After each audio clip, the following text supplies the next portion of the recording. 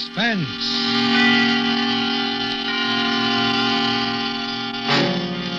Tonight, as we open a special limited series of five Friday night performances at this hour, Suspense brings you an incomparable study in terror. It is Edgar Allan Poe's The Pit and the Pendulum, in a new setting as a radio play especially written for suspense by a contemporary master of the art, John Dickson Carr. As star this evening, we bring you a noted actor of the New York stage, Mr. Jose Ferrer. And as usual, Suspense is produced, edited, and directed by William Spier.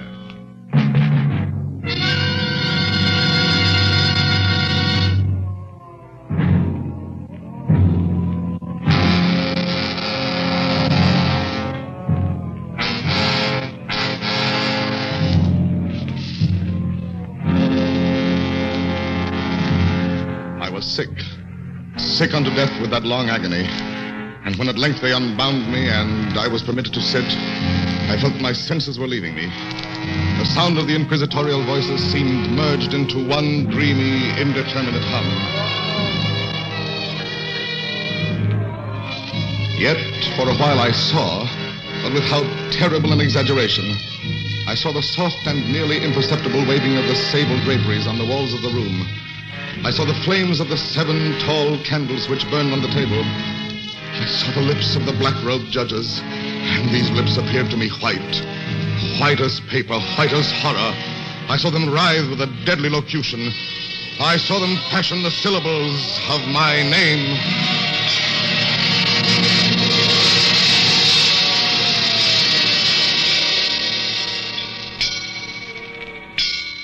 Jean d'Albret. Captain Jean d'Albret. Good fathers, gentlemen, We hear you, my son. I am very weak and infirm.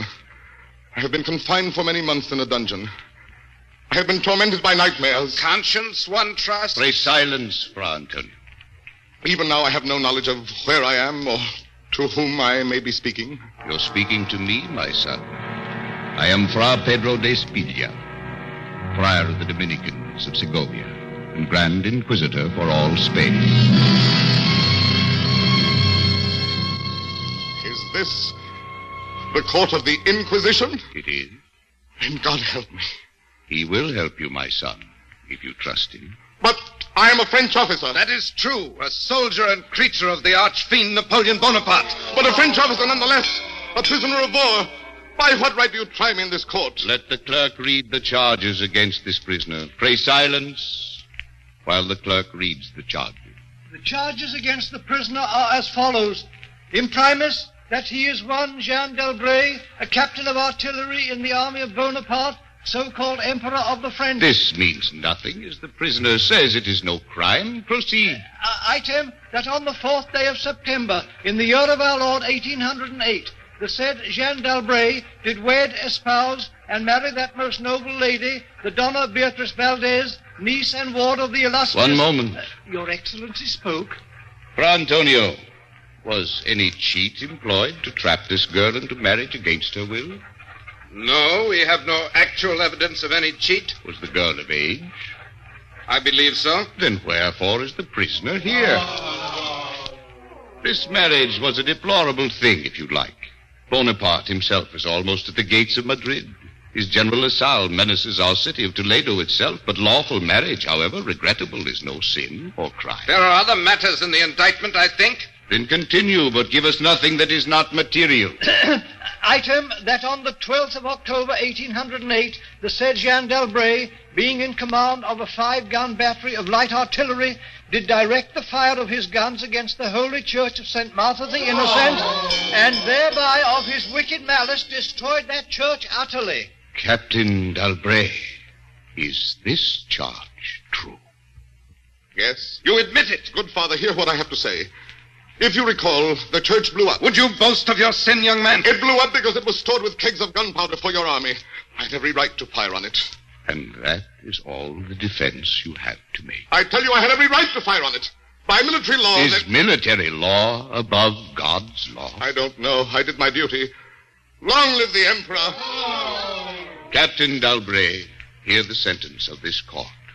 Must I stand up to hear it? I am very weak. No. You may remain seated. I thank you most humbly. Had your offense been any except this, the Holy Office would have been merciful. Mark what I say. No man, however great his heresy, is ever condemned to be burnt in the fire. Fire! Fire! A fire! Fire! If he first recant and acknowledge the error of his ways.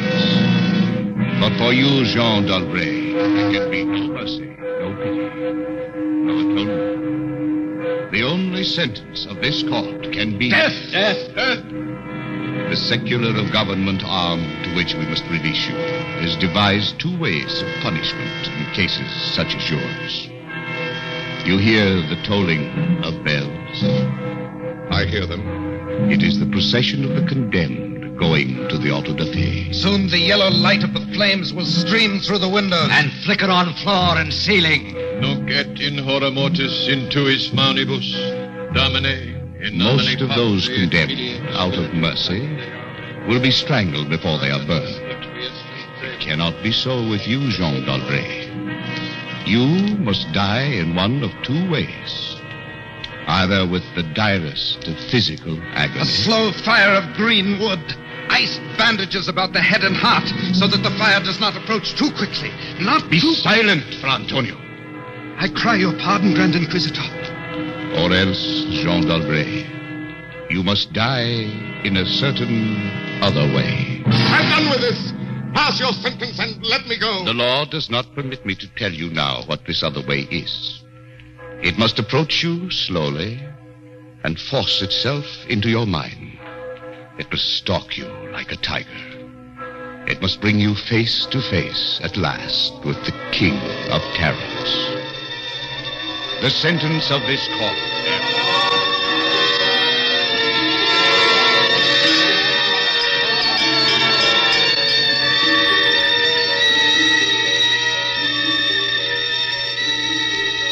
had swooned.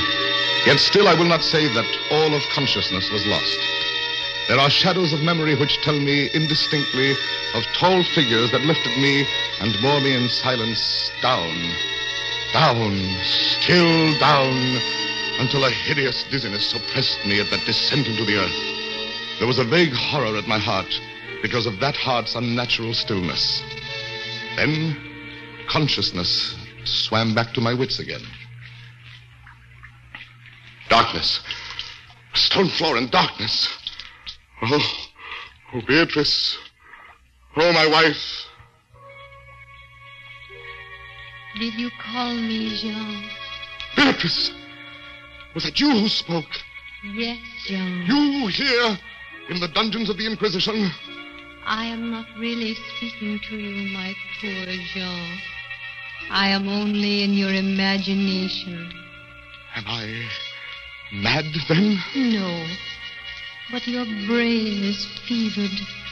You only think you hear me. I hear you clearly, as clearly as I once heard you. In the little church near the Ebro, where we were married. I destroyed that church, Beatrice. I had to. It was my commanding officer's order. I know, Jean. Be comforted. There are those who care. You won't leave me? As long as I am in your heart, I shall be here. I was strong once, but now I'm weak. Once I was reckless, but now I'm afraid. Where am I, Beatrice? What are they going to do to me? I cannot tell. Remember, my voice comes only from your own brain. Are you fettered? No, They have not chained you to the wall. no.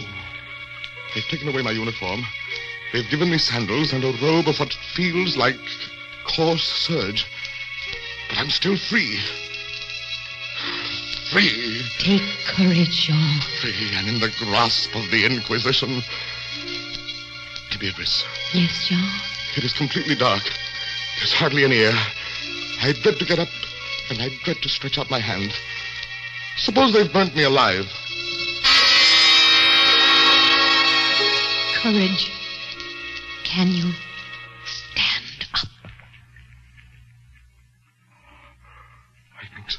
Then walk. Walk as far as you can. Measure the limits of the cell. If this is not a tomb. You're right, Beatrice. As always. I'll try. Courage. Yes, courage. Now pray for a poor devil who always meant well. One pace, two, three, four. You are very weak, Jean. Rest a moment. Yes. Where are you now, Beatrice? In the flesh, I mean. You know that, Jean. In the old house by the olive grove. Scorn of my people. Yes, I know it. Each morning, I climb to the hilltop and watch. Go on. Sometimes I think I hear gun wheels rumble in the hills and long moving columns with the red dust rising about them. Go on. First come the heavy cavalry in plume crested helmets, on their flanks wheeling like hawks, light hussars in blue and scarlet, and behind them in a glitter of bayonets as vast as light points on the sea, rank upon rank. The long gray coats and tall bearskin caps of The old guard and the Grand Army.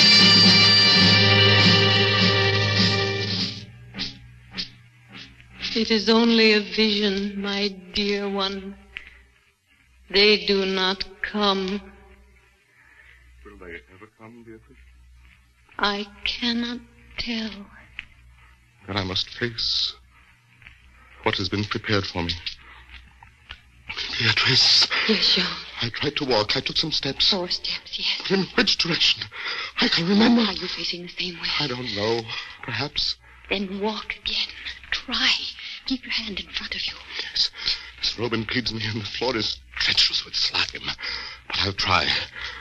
Four paces. Five. Six. Seven. It can't be a tomb. Eight. Nine. Ten. Look out! Ah! I'm all right. I fell. The rope tripped me. But What is it? my hand is in front of me, lower than my face. But I feel nothing. Nothing, Jean. It's a pit, a circular pit. And I fell on, on the very edge of it. They would have made you walk into it. Yes. Uh, there's a loose fragment of rock just inside the edge. If I can dislodge it. Uh, listen.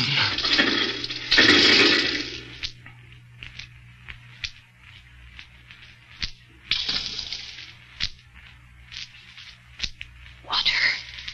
There's something down there. Rats, it may be. Rats, yes. Else. I heard it move. So do I.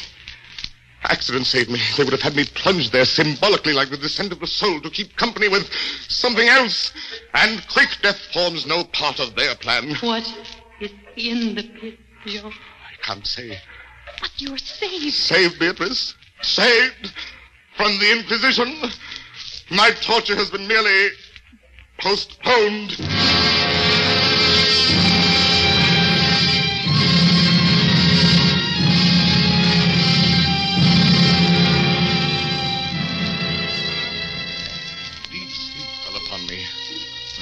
Like that of death. How long it lasted, I know not. But when I opened my eyes once again, I could see. Yes, see. My prison was large and lofty, its walls formed of massive iron plates bolted or joined together. A wild sulphurous luster, I could not trace its origin, lit up the dungeon, and the circular pit, and the crudely daubed skeleton figures painted in evil colors on the iron walls. Skeleton figures, demon figures, gargoyle figures, their colors a little blurred, as from the effects of the damp. And I. Must approach you slowly and force itself into your mind. Must stalk you like a tiger. It must bring you face to face at last with the King of Terror. I now lay on my back and at full length and on a low framework of wood. To this framework I was securely bound by a long fastening resembling a surgical bandage. Bound? But why? Why? Why? Why? The bandage passed round and round my body, leaving at liberty only my head and my left arm. With much exertion, I could supply myself with food from an earthen dish on the floor beside me. It was meat, highly seasoned. And there was no water.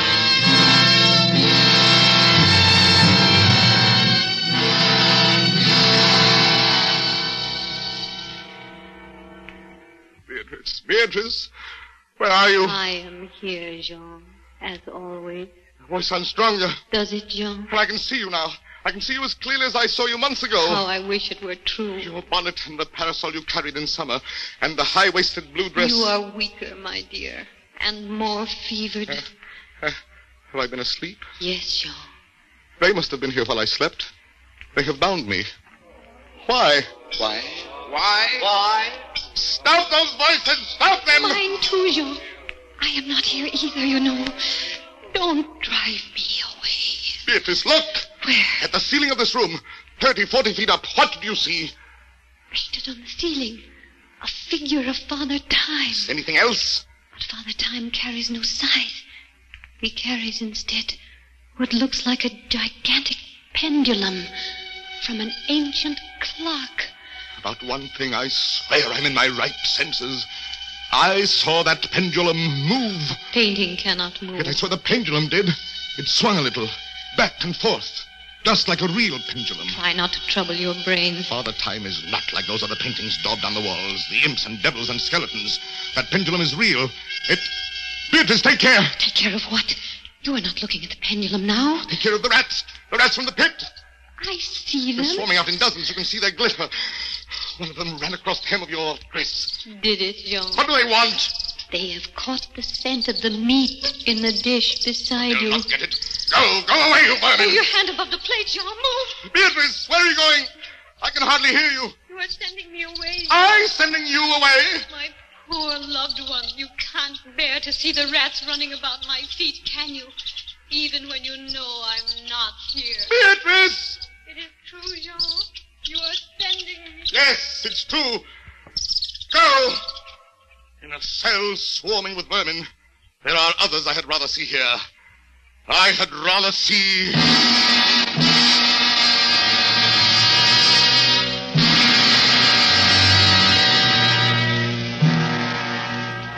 Did you call me Captain Dalbray?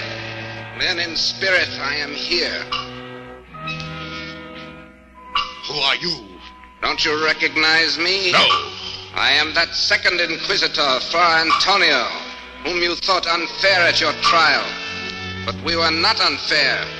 We administer the law. That is all. Go, I command you, go! Not until I have first told you what you already guess.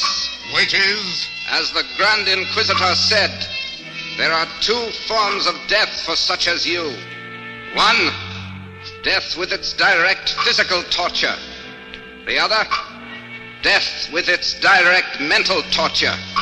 And I have been condemned to the second. Your guess is good. Listen. Do you hear anything? Yes. I hear something.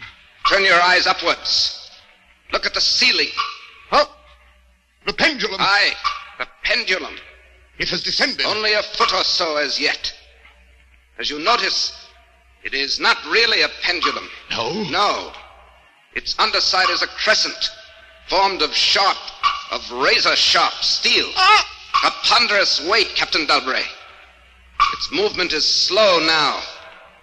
Soon it will take on momentum. It will swing wider and wider. Thirty feet, perhaps. Presently, as it swings, you will hear it hiss. And with each broad movement, it will creep a trifle lower. Steel is directly above me. Yes, above the region of your heart. Lie still and look up at it. How long before? You need have no immediate fear. It will not be too soon. But how soon? In the name of pity, give me some answer. Hours, perhaps days. Its motion can be arrested while you sleep. And now, oh. Captain Dalbray, still in spirit, I leave you to your meditation.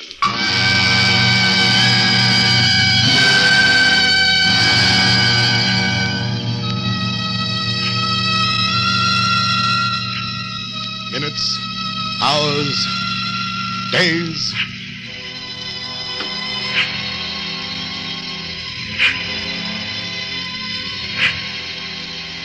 Down, steadily down it crept.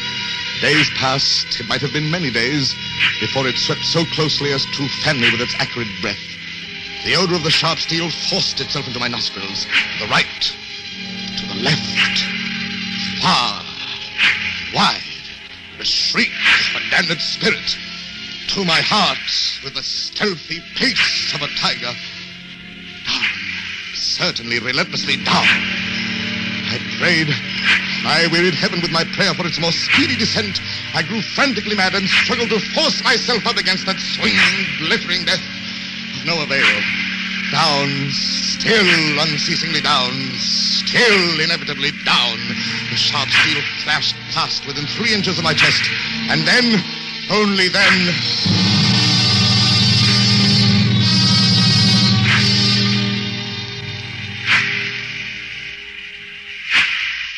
I heard you calling, Jean. I am here. It is a strange thing, Beatrice. I am quite calm.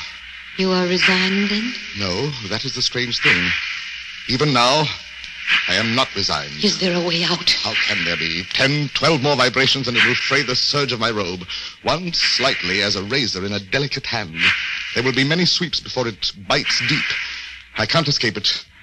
And yet, And yet, if I could only use my wits. you kept me away from you, Jean. You locked me out of your thoughts. If I am here only in your thoughts, why should I fear the rats? The rats! Rats! Do they still swarm here? Across the floor and over the meat platter, they have taken nearly all your food. Yes, they are ravenous. And they have sharp teeth. Well, The meat is oily and spiced. If I take what remains of it, scatter you vermin, and rub that meat on the bandages that hold me here. try it, Jean. Try. Maybe too late. If I move my body a fraction of an inch out. Try it, I tell you. Try. Look, they scatter as soon as I do try. But they are watching you. I can see their eyes glitter. They are creeping back. Can I stand those rats crawling across me? Can the flesh bear One of it? them has leaped on the wooden framework. Another follows. They are gnawing at the bandage. Seven, eight more sweeps of the pendulum. Does the bandage give way? A little. Lie still, Jean. Lie still. Ten, a dozen rats gnaw. Is death, I wonder, worse than this disgust? A dozen sharp knives could do no better. The bandage is loosened to ribbons. If you move sideways, carefully, and drop to the floor. Beatrice, I can't. I haven't the strength. The steel is frayed. Your robe a minute more will be too late. Try. And, and with all the power that is in me, and the hatred that I bear my enemies.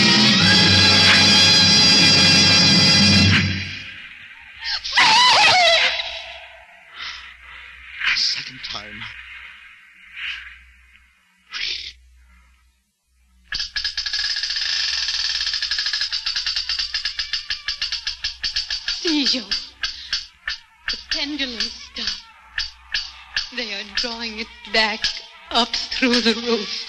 Each move I make is watched. You never doubted that. No. Yet with all they could do to you, they have failed twice. They will not fail a third time, my dear. There must be no more dallying with the king of terrors. What else can they do? I can't say. See how the rats gnaw and silence the bandage. To what food, I wonder, have they been accustomed in the pit? But you escaped the pit. I escaped, escaped it once. Listen, What do you hear? groaning, and grinding as of metal. It was only the cogwheels of the pendulum knife. I think not, Beatrice. Why not? It seemed to come from behind these iron-plated walls. It seemed to shake the dungeon as a mill wheel might shake it. It... Stand up, my poor Jean. Get up off your knees. I can't, Beatrice. I can't endure any more. The paintings on the wall of this dungeon. The skeletons and imps and devils. They seem different. They are different. The colors sharpen, grow bright. The demon's eyes glare. The skeleton hands outstretched. Don't you catch even yet the odor of heated iron? Heated iron. I've been much humbled, but I won't have you see me in tears. I order you to go. Jean, in the name of heaven. Yes, in the name of heaven. Go!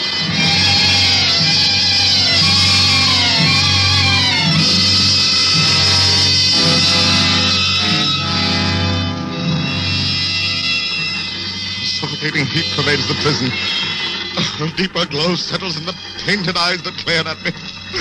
I could draw no breath of air into my lungs. Against the loom of that fiery destruction, the thought of the pit and its coolness came like balm. I stagger to the edge of the pit. I look into it. The enkindled walls and roof lighted to its depths. Yet for one wild moment, even then, I refuse to believe the meaning of what I see. Does the pit please you, Captain Dalbray? You again. Do you find its contents pleasing? Not the pit. Merciful God, anything but the pit. And how shall you avoid it? Look! This dungeon has changed its shape. That is true. The walls are closing in. It was formerly a square, and now Flattening slowly towards the center. To force me into the pit? Of course. It will force you along with me. And apparently you must be told, Captain Dalbray, that you are speaking only to your own sick fancy. No. We are not here at all. No. Farewell. And now, flatter and flatter through the red burning walls. With a swiftness that left me no time for thought, I shrank back. But as the closing walls pressed me resistlessly onward, at length, for my seared and writhing body, there was no longer an inch of foothold. I screamed once! I tottered on the edge of the pit. I averted my eyes. There was a discordant hum of human voices. There was a loud blast, as of many trumpets.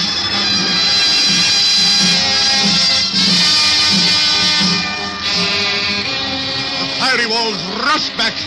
An outstretched arm caught my own as I fell fainting into the abyss. It was the arm of General Lasalle. The French army had entered Toledo. The Inquisition was in the hands of its enemies.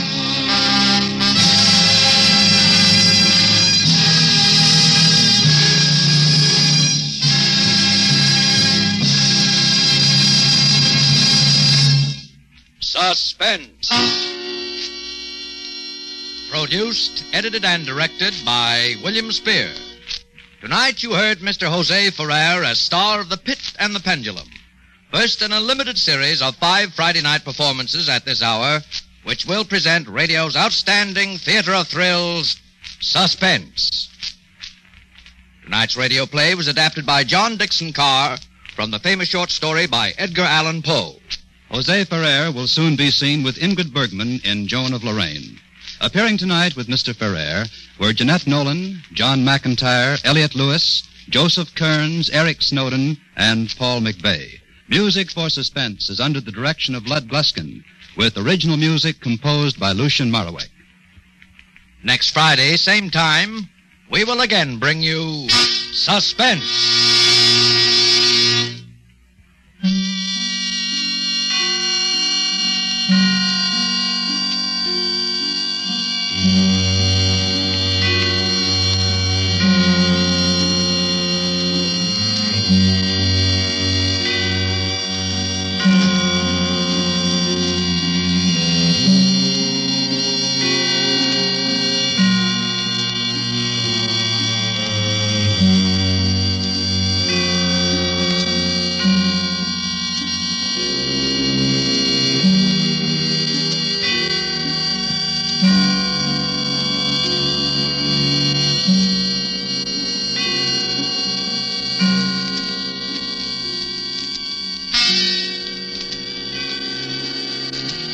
This is CBS, the Columbia Broadcasting System.